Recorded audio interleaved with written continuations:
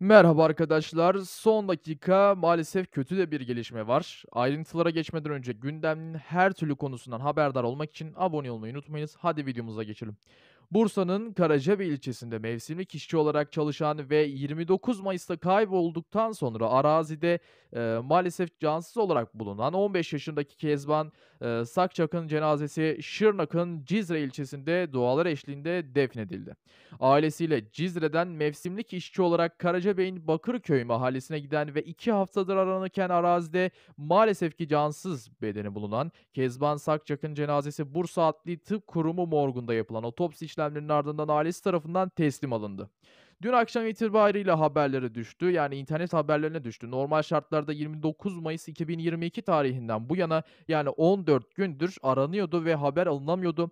Akut Arama Kurtarma Derneği ekipleri tarafından seferber olunmuştu ve olayda maalesef genç kızın bulunduğu belirtildi. Ama tabii ki Uluabat Mahallesi'nde göl kenarında bir arazide vatandaşlar tarafından bulunmuş ve otopsi için ise Bursa Adli Tıp Kurumu morguna kaldırılmıştı. 15 yaşındaki Kezban e, Sakçak'ın cenazesi ailesi tarafından teslim alındıktan sonra uçakla Mardin'e oradan da cenaze aracı ile Cizre'ye getirildi. Şırnak'ın Cizre ilçesine ve e, gece saatlerinde de tabii ki e, burada defin işlemleri yapıldı. Asri mezarlığına defnedildi.